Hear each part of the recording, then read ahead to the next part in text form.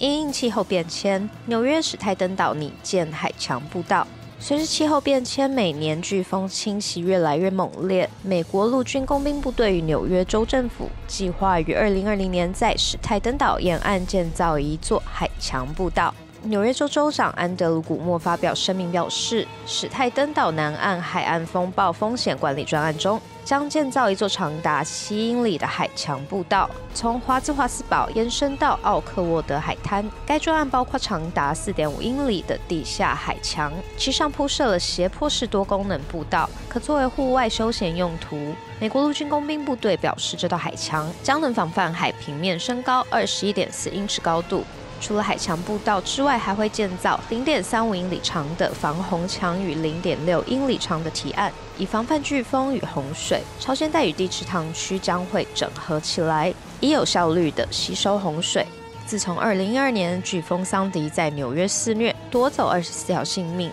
估计造成纽约市一百九十亿美元的损失后，史泰登岛便采取防洪措施，以确保海岸线能得到有效防护。